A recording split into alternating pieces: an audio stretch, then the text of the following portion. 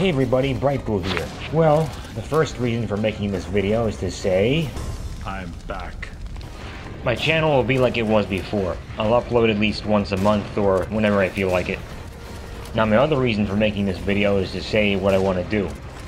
I definitely want to continue my Let's Play of Serious Sam Crystal Impact. Um, there are things, a lot of things going on in the uh, Duke 3D modding world, and some things going on with uh, Duke Nukem Forever.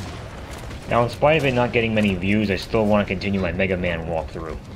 Ah, uh, yes, and Doom. There'll be some Doom content as well.